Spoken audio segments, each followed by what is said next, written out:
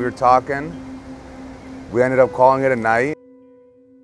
But I'm like, well, he's really cute. We hit it off. I mean, it took me about nine years. It's been a long time.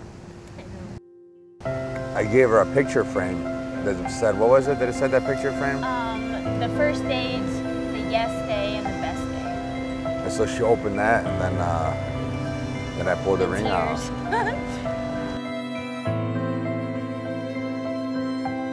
It's finally happening.